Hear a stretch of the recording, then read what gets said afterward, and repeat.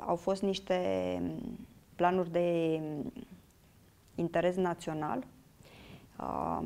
pe care le-am continuat și ca și lege importantă, ce am primit în momentul în care am fost investită a fost legea salarizării unitare, despre care v-am spus că nu puteam să o aplicăm pentru că nu era în concordanță cu programul nostru de guvernare. Noi acum nu facem altceva decât să corectăm foarte multe ordine de ministru care s-au dat în ultimul an și care au ne-au adus în situația în care uh, fie uh, aparținătorii persoanelor cu